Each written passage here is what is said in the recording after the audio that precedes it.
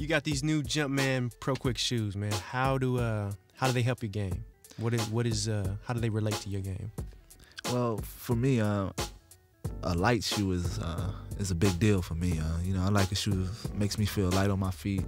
I mean, defensively, so I can stay in front of guys, uh, knock balls away, steal balls, uh, and uh, offensively, I think uh, the shoe is, is wonderful for uh, you know first step for a first step like I have. I, I think uh, you know the lighter the shoe, the, quicker I'm gonna be. I feel, uh, and the quicker I can make a move uh, to the basket, and, and, the faster I can get up and dunk with somebody. You know, uh, I think that's key.